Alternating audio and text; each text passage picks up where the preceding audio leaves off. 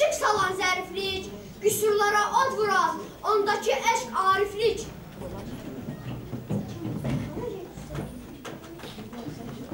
Xalqımızın humanist şairi Nizam Gəncəvidir.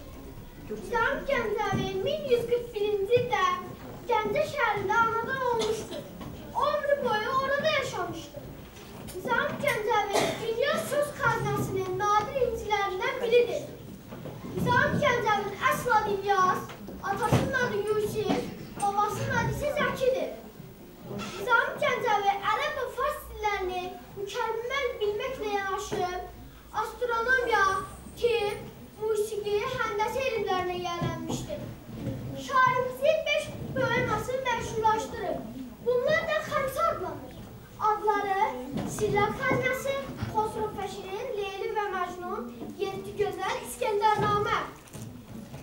Nizam Gəncəvi poemalarını fars dilində yazmışdır. Qazetimizdə qədimlilik öz əksini tapmışdır. Nizami Gəncəvi elmlə, biliklə yanaşı, zəhmətə və əməyə yüksək Nizami Gəncəvi elmlə, biliklə yanaşı, zəhmətə və əməyə yüksək qiymət vermişdir. Sirlər xəzinəsinə aid olan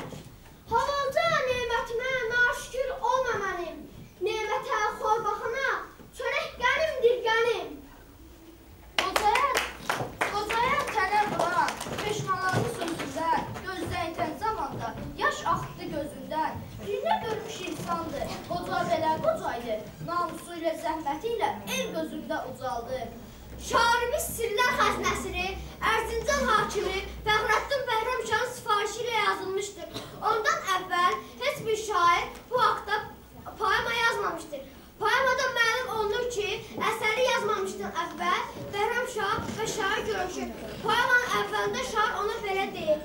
Bir oğuz giyindirmədim söz qızına donu mən. Qəlbim nəyəz deyilsə, yazmışam da onu mən. Sənətin hər sehrinə bir əl yaratmışam. Yeni qəlbimdən çıxan bir heykəl yaratmışam. Dünyada nə qədər kitab var belə çalışıb, əlləşib, gətirdim ələ, əlimə yetişən hər bir varaqdan nüsxələr bağladım mən zaman zaman. Oxuyan, bəyənib, afərin desin, ariflər, alimlər mənə gülməsin. Çalış öz xalqının işinə yara, geysin əməlinlə dünya zərxara. Kamil bir palançı olsa da insan, yaxşıdır yarımçıq babaqçılıqdan. Ey qəflət yuxusundan xoşbəxt uyuyan xumar, yeyən içən eşək öküzdən fərqli mi olar? Şairin Nizami Gəncəvi 20 məqalə Nizami Gəncəvinin yazdığı 20 məqalə və 20 hekayə ilə tanış olan.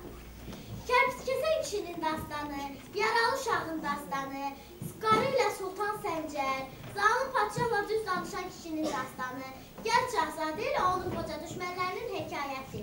Nuşravan ilə vəzirin hekayəti, qocalığın sifətləri, Firüzü Şahın Ceyranovu, varlığın etibarı haqqında. Dünya Dünyanın sonu haqqında İsa Peyğəmbərin meracı, çəkişən iki filosofun dastanı, Xain Sof Xain Sofi ilə Hacının dastanı, Mürşid ilə Muridin dastanı, Bülbül və Qızıl quşun dastanı, Sir saxlayan Cəmişin dastanı, Harun Ər-Rəşidin Dəliləyinin dastanı, Nəzər sahibinin Möbidin dastanı, Yaramazlığa Darin dastanı. İndi isə bülbüllä qızıl quşun dastanını dinləyək. Bir gün bülbül qızıl quşun yanına gəlib deyir: "Sən quşların ən gözəli və ən yaraşıqlısısan." Sən quşların ən gözəli və sən quşların ən gözəli və ən yaraşıqlısısan. Bəs niyə heç danışmırsan?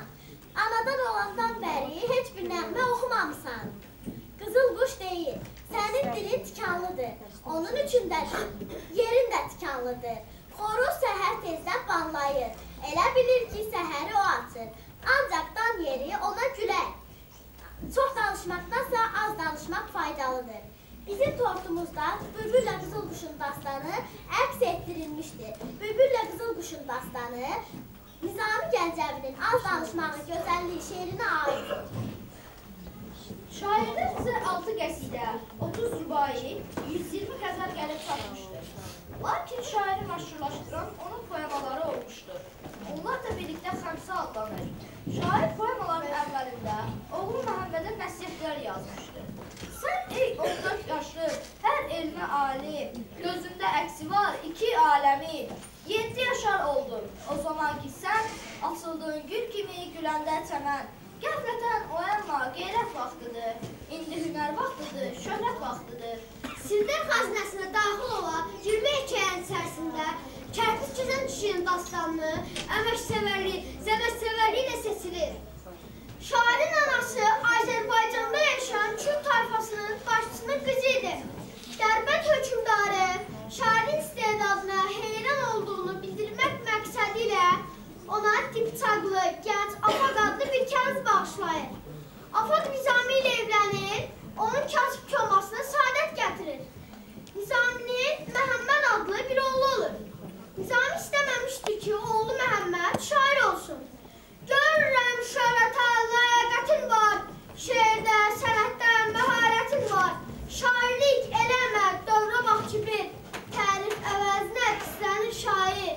Şeirdə ucalıb umma dünyada, çünki Nizami ilə qurtarır o da.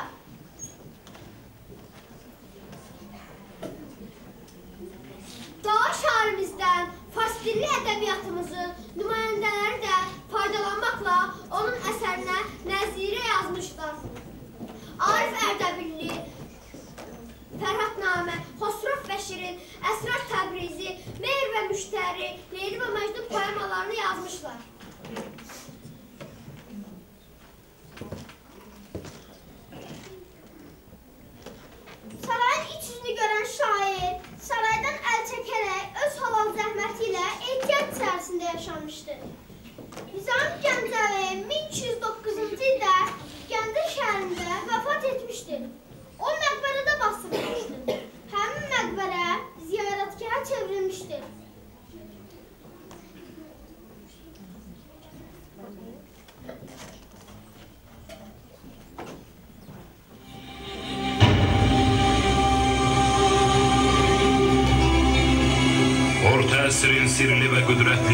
yaşamış Arran adlanan ülkenin en görkemli şehri. Büyük İpek yolunun üzerinde yerleşen bu kocaman şehir, dünya... Birinci grup tutardı. Evet.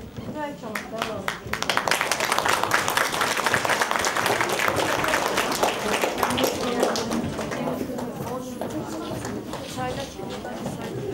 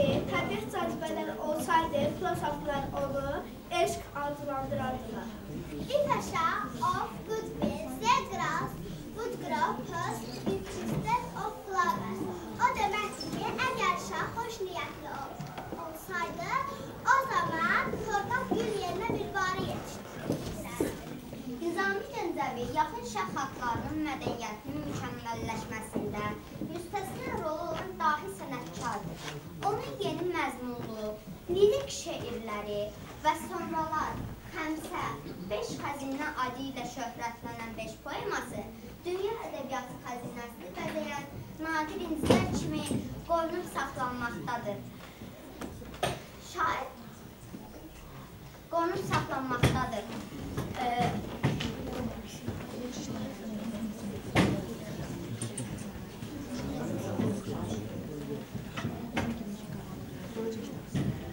Şairin şərq şeirinə gətirdiyi ölməzliyə Xəmsənin ikinci poeması Tosun və Şirin əsəri ilə daha geniş, daha aydın şəkildə ifadə olunmuşdur. Əsər 1182 il Atabəy Məhəmməd Zahan Fəhləvi Nədəvi ilə yazılmışdır. Bu əsər e, dünya ədəbiyyatı tarixində ilk mənzum romandır. Əsər Səsani hakimi Xosrov Pərviz ilə Bərdə hakimin vəliəhdi gözəl şirin arasındakı məhəbbət haqqındadır. Əsərdə hadisələr Xosrovun atası olan Hörmüzün taxta çıxması, Xosrovun doğulması, böyüməsi, Hörmüzün ədalətli bir şahlıq etməsi ilə başlayır. Şair əsərdə Hörmüzü ədalətli bir şah kimi oxucuya təqdim edir. Hörmüz hətta qanunları pozduğu üçün oğlunu cəzalandırır. Şair isə bununla qanunların hamı üçün eyni olduğunu göstərir. Hanı o ədalət, o insaf hanı? Belə öz oğluna belə cəzanı.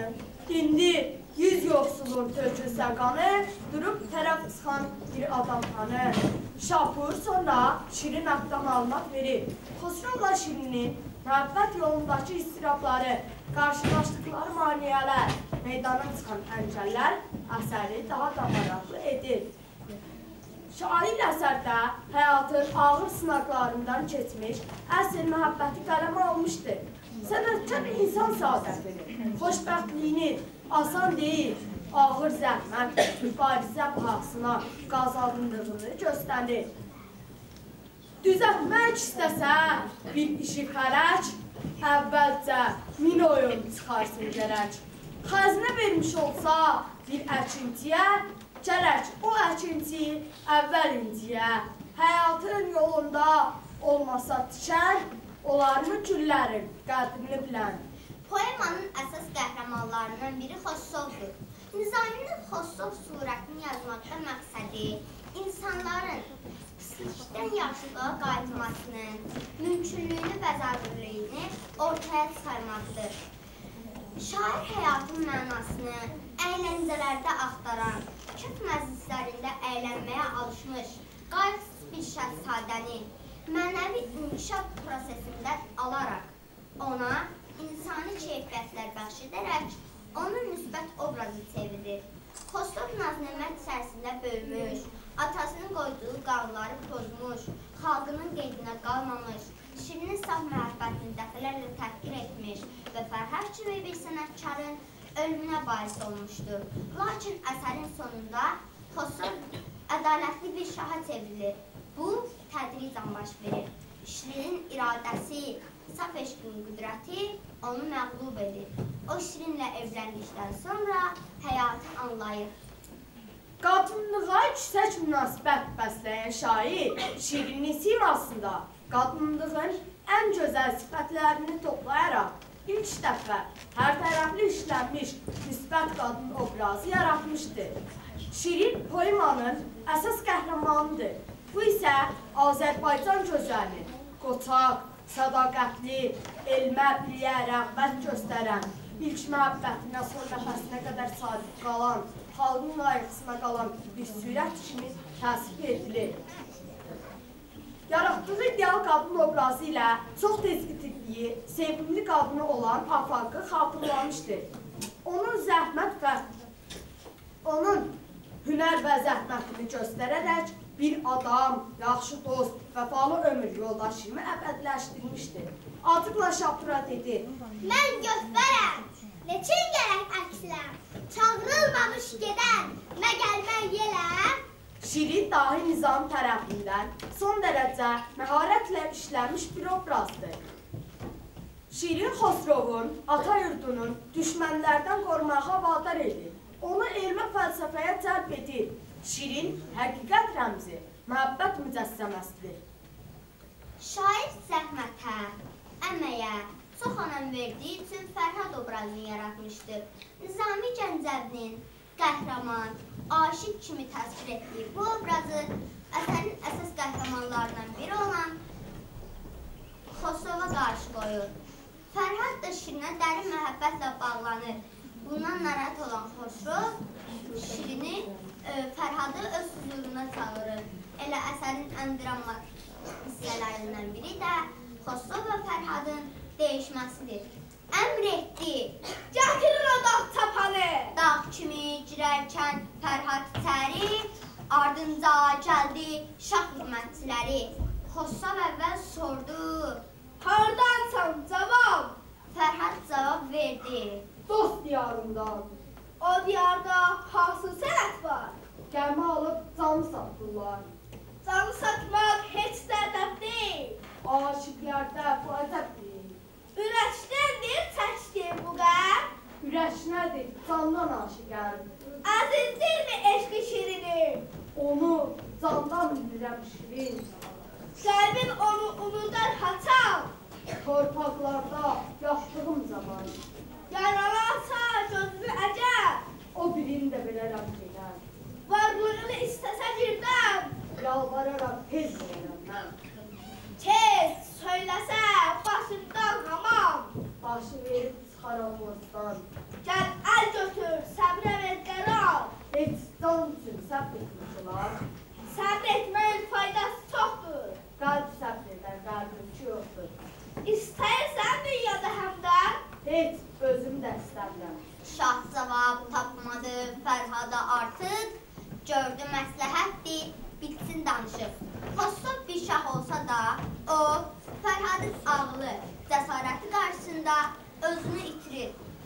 Fərhad isə adi bir insan olmağına baxmayaraq Xosrova qalib gəlir. Lakin Xo- Xosrov Fərhaddan əl çəkmir. O Fərhada deyir. Bizim yolumuzdan bir dağ keçir. Sən adağı yarıb yol salsan, səni istəyinə nail edərəm. Fərhad razılaşır. Lakin Fərhadın bu işi bitirəcəyindən narahat olan Xosrov iləyə əl atır. O Fərhada Şirinin yalan hö- ölüm xəbərini çatdırır. Buna dözə bilməyən Fərhad özünü dağdan atır. Eşitmiş olarsan, o dağlar çapan, bu şəklin önündə necə verdi can? Bilirsən ki, Xosrov pozdu İlqarı, məhv etdi Fərhadı, bir qoca qarı. Quyruq tələ qurdu, gördünmü qurda? Məqsədinə çatdı, hiləgər burada.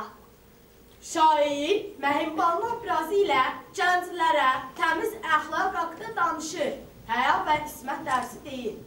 Məhimbanlı Bərdə hakimi olan Şirinin bibisi olur. Xosrovla Şirinin arasındakı münasibəti görərək Şirinə öyüd nəsihət verir. Şirinə söylədi. Qızım bilgirəm, bütün gözəllərin sultanısan sən. Yüz şahlığa dəyər bir nazın sənin, dünyalara dəyər avazın sənin. Ürəyimə damıb gələn Cahangir, səninlə qovuşmaq niyyətindədir. Görsə ki, vəfalı, ismətli qızsan, elçi göndərəcək adətlə inan. Adım bu dünyada namuslu qalar. Olarsan cahanda böyük hökmdar. Yaraşmaz kişinin dalınca getmək. Bu sifət qadında olmasın gərək. Şirin Məhim Balanya çox diqqətlə qulaq asdı. Bu sözlər onun ürəyinə yatdı. O an istdi. Məhim Balanı öldükdən sonra Şirin taxta çıxır. Bir gün saraya sərxoş halda gələn Xosrov Şirindən onu içəriyə dəvət etməsini istəyir. Lakin Şirin onu rədd edir. Kəbinsiz evlənməyəcəyini söyləyir. Həmişə təzə ol, ey səni azad. Başın göl, üzün al, qəlbin olsun şad. Demirəm ki, səndən mən artığam yox. Belə fikirlərdən uzağam çox-çox. Qonağınam, qonaq üzünə belə. Qapını bağlamaq olarmı söylə? Haqlıyam, qapını bağlamışam mən. Çünki görüşümə sərxoş gəlmisən. Sən sərxoş gəlmisən, mən də burada tək görüb eşidənlərinə söyləyəcək. Bir gözəl üzlünü itirdim əgər. Ətrafımda vardır minlərlə delvər. Balalarla dolmuş o hərəmxana, mən yazıb ceyranı gətirmə cana. Ya sənin üzvlü sər bu sözlər nədir? Yəni daha da yüksəlməyə gələcəkdir. Çölər buradayken hara gedim mən? Rahat olarmı? Baş ayrılsa bədən. Nə qədər istəsən naz elə ey yar. Ancaq qoyma məni qapıdan kənar. Özümə hər zaman səni yar bildim. Hər yerdə tək səni vəfadar bildim. Sən isə yadına məni salmadın, halımı, keyfimi xəbər almadın. Mən güllər üstə uçan bir quşam. Yayın istisini heç duymamışam. Özümü gil qəbrə daş qəsdə saldım. Sənin üçün səbr edib bu qədər qaldım. İstidən qızıl tək əldim hər an. Buz kimi doldum. Hər şahlı soyundan, tarazda mən kimi gözəl tapılmaz. Kiçik kənizimdir, qürür ilə naz. Can çözmə dostuna sitem etməsən. Azıqlı olsan da bir rəhim versən. Odundan yencini qapıdan çəkmə. Torpağam üzümü, suyumu tökmə.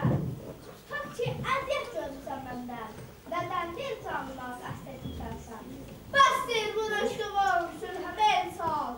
Gün olduğum bəsdir, biraz da yumşal. İndi ki, evinə buraxma insan. Sən ol, mən də yolun şərəmə yalan. Umudaram səni, yerim qazın boş. Başqa bir insan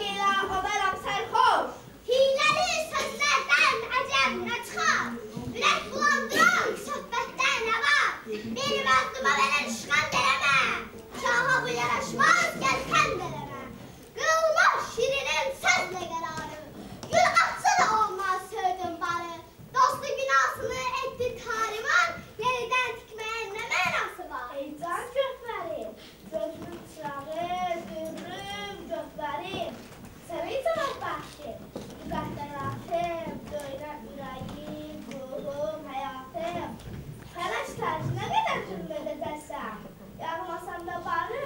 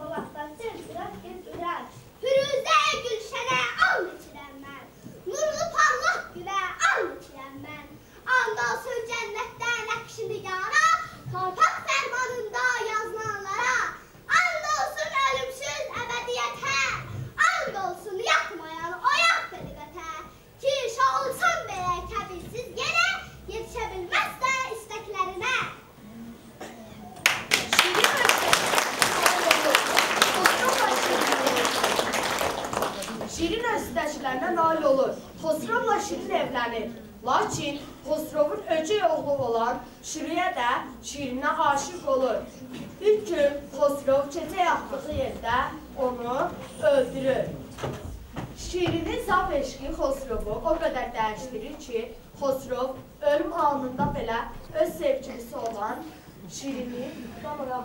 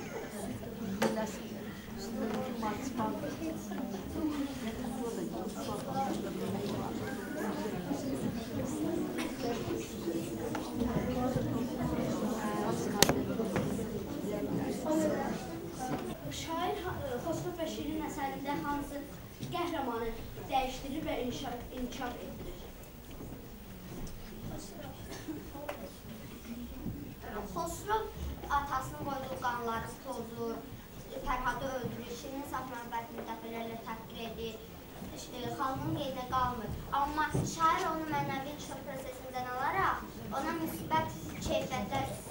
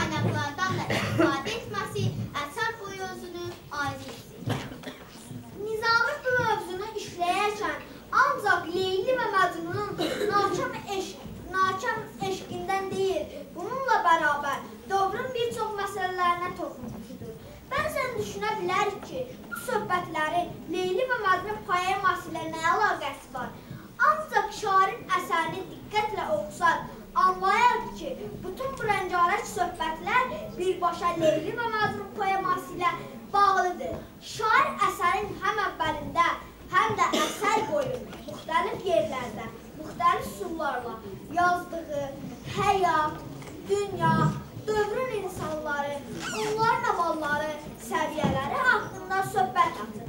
Bu söhbətlər də mövzudan yad bilinir.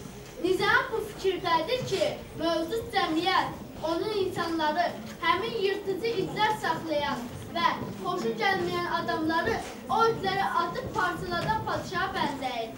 Nəinki bənzəyir, elə onun özüdür. Bu baxımdan hekayənin sonunda Nizaminin dediyi aşağıdakı sözlər təsadüfi deyildi.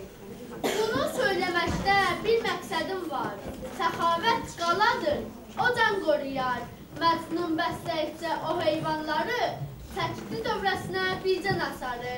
Hasır ətrafında gəzən hər heyvan, Məcnun işinə yaradı hər an. Məcnuna bənzəsən, insanlıqda sən, dünyada nə qısən, nə qəm çəkərsən. Nizaminin təhsilində Zülmkar şahın yırtıcı itlərə atdığı gəncə nisbətən Məcnun daha yüksək insani sifətlərə malik olduğu kimi onu dəli Məcnun adlandırıb çöllərə salan, məhsinə səbəb olan cəmiyyət də həmin zalim patişahdan daha zalim, daha eybəcərdir. Bu gün itlər saxlayan patişah tərəfindən itlərə atı, atılan gənc patişahın xasiyyətini bildiyinə görə onunla dost olur. Çünki şahın bir gün onu da itlərə atacağından şübhə eləmir. Ancaq Məcnun heyvanlara qayğı göstərməsində, yem verməsində və ya ahu və maralı ovçuların əlindən xilas etməsində heç bir təmənna və məqsəd yoxdur.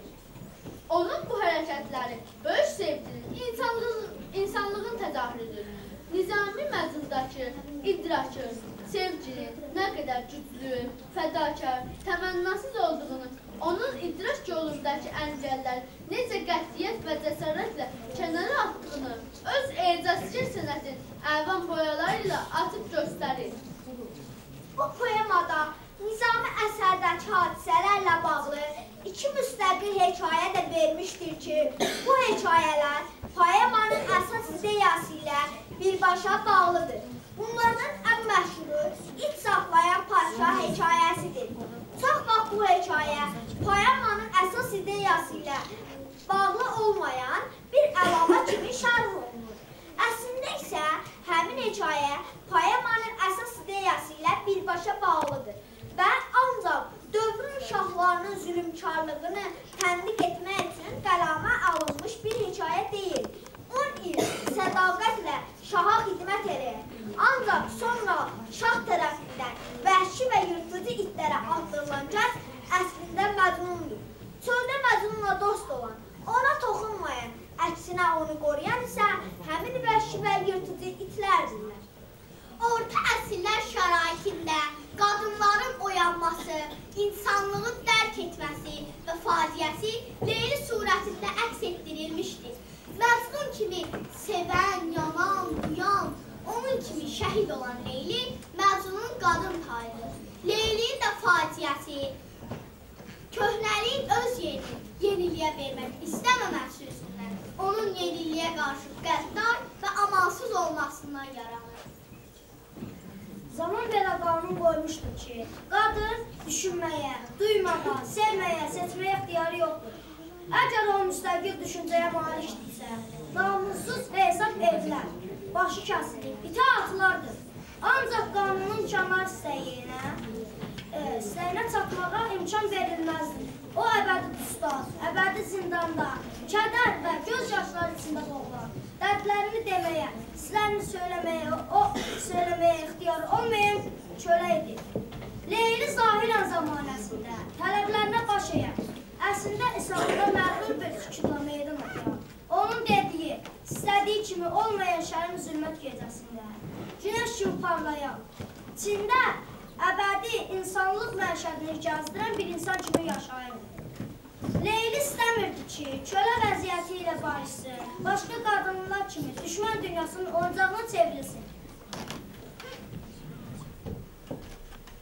Dahi şair Leyli və Məcnun poemasını böyük sənətkarımız Səməd Vurğun tərcümə etmişdir.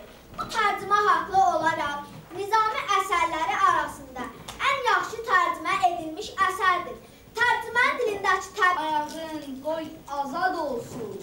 Yetiş öz tayına, o da şad olsun. Məcnun avlayaraq bu qəribliyə dərdini bir deyil, yüz deyə deyə yazıq maraltının açdı torunu, gözlərindən öpüb buraxdı onu. Qaçdı səhralara, tor görmüş maral, Məcnun öz yoluna başladı dərhal. Gəlin indi qəzetimizlə tanış olaq. Böyük Azərbaycan şairi və mütəfəkkiri Nizami Gəncəvi dünya ədəbiyyatının nadir simalarından biridir. Şairin bütün poemalarında insan və cəmiyyətin zamanı